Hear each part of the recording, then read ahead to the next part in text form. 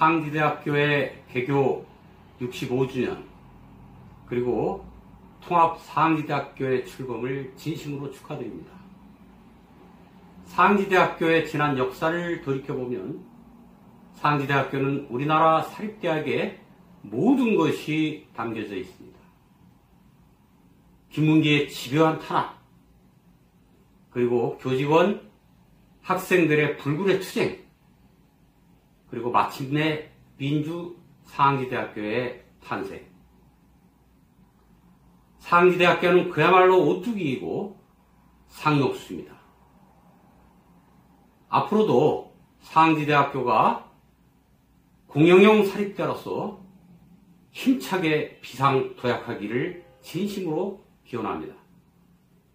그리고 릴레이 기부로서 다음 주자로서 제가 존경하는 두 분을 추천드리겠습니다.